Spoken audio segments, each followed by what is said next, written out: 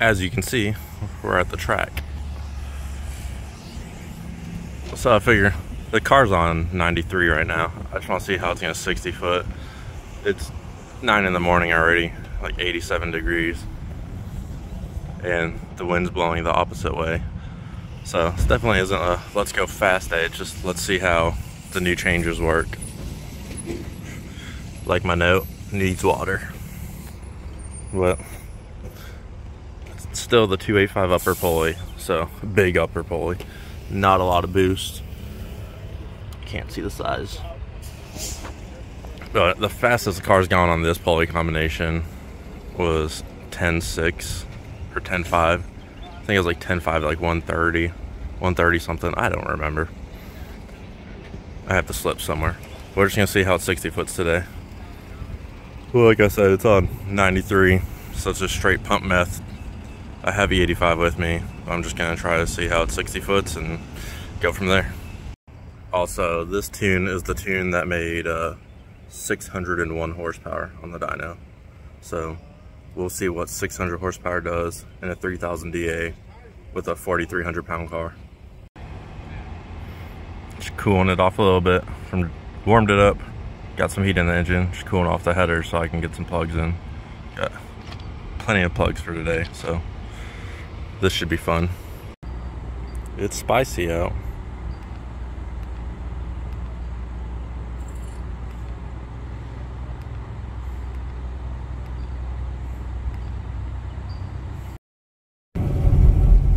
Well, I just made the first hit.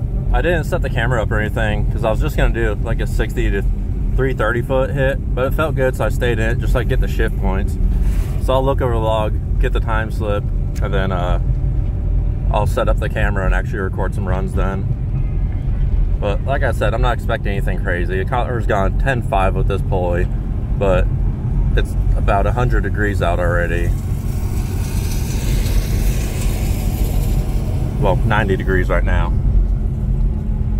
it's 90 degrees right now at 10 in the morning so i'm not expecting anything crazy i just want to see how the car's 60 foots it's hot out but there you go that's the first pass so we'll see what we can do with this.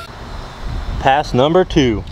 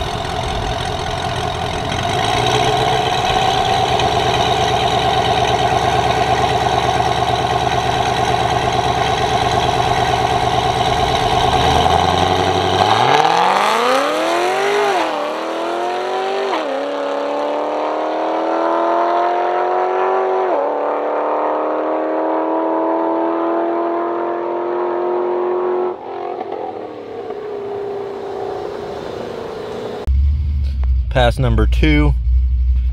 This is on pump meth. We're making a whole like 11, like 10 and a half, 11 pounds of boost because it's so hot out. Um, my IATs when I started the pass were 86. At the end of the pass, they were 121. So I picked up two two miles prior to the eighth. 60 foot was the same. ET was about the same, but it's just so hot out back, it's not doing anything. And I'm not going to throw a lot of timing at this being essentially 100 degrees out and on 93 with some meth. But uh, this pulley combo, the best it went before, and a negative DA was 10.6 at 136, and that was on E85 and meth. So doing a 10.9 on 93 in meth and a positive 3000 DA, I'll take it.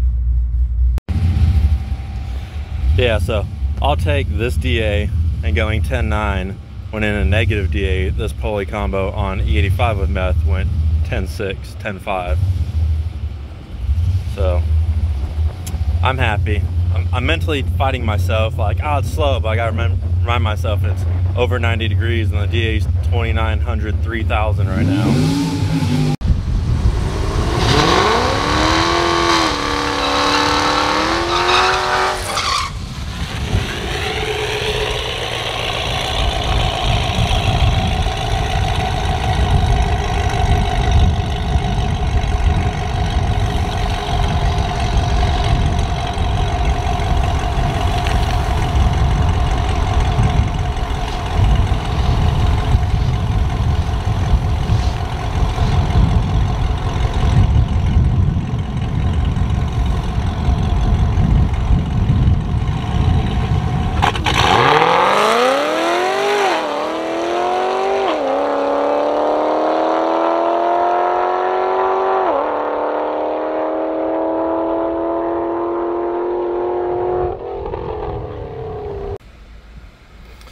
It's hot out. Put E85 in and the car still didn't go faster, but that pass, our IAT was 118 before we even started. You see zero mile per hour.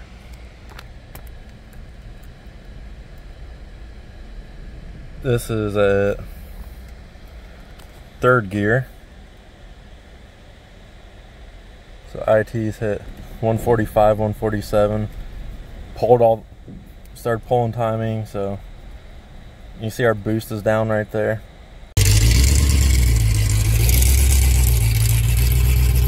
Yeah, it's a bit hot out. The DA is 4,000 worse than last time I was at the track. So last time it was negative 1,000 DA, the car went 10.6. Today it's, I'll show you. There you go, that's the DA. So 4,000 worse DA. On pump meth, we went uh, three tenths slower. So it's pretty promising. Saying last time was negative 1000 DA and uh, on the E85 in meth, and today pump meth and this air and weather went 10.9. You can see it got nice and cold. See, there's that pulley. 285. We're gonna try and make another pass, see how it does. So let the car cool down some. Check plugs, went over the tune some. And we got a 10.8, 10.81 at 129. So I'm chipping away at it. I, I don't expect to go 10.5 or 10.6 today. But if I can be two tenths off, two to three tenths off in a 4,000 DA difference, I'll take it.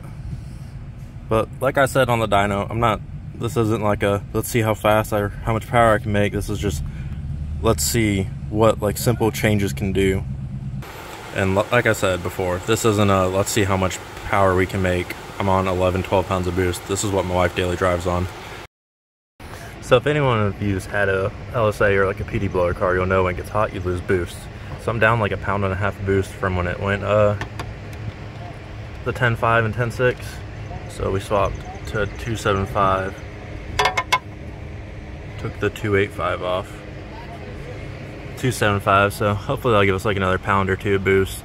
And then we can really compare like same boost just little tuning difference and a lot hotter. See map sensor, that's the boost we made. You see peak, peak RPM, the pass it was. I'm gonna pull up the 10.5 or 10.6, whatever log I have from back in February when it was negative 1000 DA. Same pulley combo, I'll show you the boost. This from February, 391 kPa. So it was up a little airflow. So I'm just trying to even the field out to compare same airflow, just tune difference and in the heat. Slower 60 foot that time, but we picked up two and a half mile per hour in the eighth. Outback, it's not as good, but I mean, it's hot. It's getting hotter. And then my supercharger wasn't as cold that time. But yeah, I mean, whatever. Well, we picked up a little bit of boost, but not much. This heat's just killing it. And it's not belt slip because I see that in the chart. It's steady. It's just so hot outside. I don't know why I'm even running it out the quarter. It's, it's kind of stupid. I'm picking up like two mile per hour to the eighth every, about every pass now. But it's just so hot. It's not doing anything out back. That pass I went 104 to the eighth and one 130 to the quarter. The past so far went 102 to the eighth and 129 to the quarter. So it's getting faster, but it's just so hot out. It's really hard to make a car do stuff when it's 95 degrees and over 3000 DA. Maybe I'll come back with the same pulley and see what it does on a winter hero pass like 99% people do on the internet. Well, there you go. It went 10.5 and 10.6 in February with a little bit more boost, 45 degree air temps, and right now it's 107 with less boost.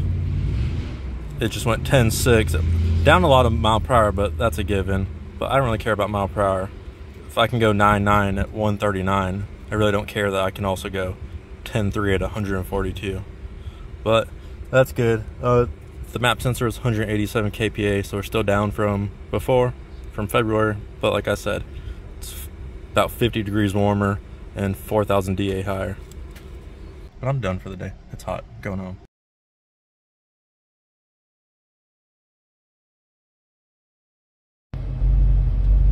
We got like 11 gallons of fuel.